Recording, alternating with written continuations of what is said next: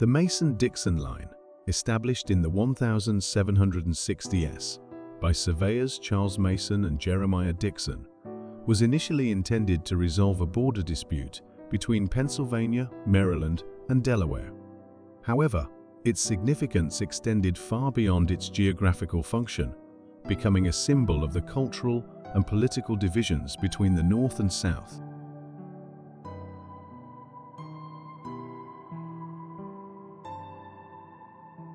During the 19th century, the Mason-Dixon line served as a dividing line between free and slave states, playing a crucial role in the debate over slavery in America.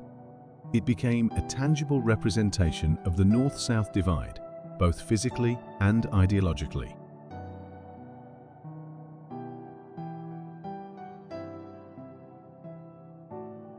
Despite its divisive history, the Mason-Dixon line has also become a symbol of unity and reconciliation in America.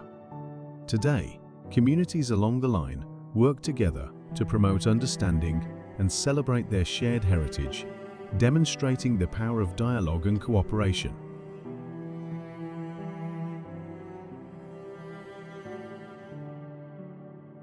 The Mason-Dixon line has left an indelible mark on American culture, inspiring literature, music and art that explore themes of identity, division and resilience.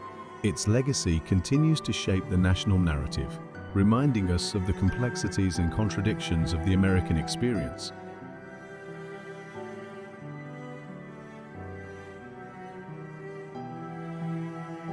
As we conclude our brief exploration of the Mason-Dixon line, we're reminded of its enduring significance as both a historical boundary and a symbol of American unity.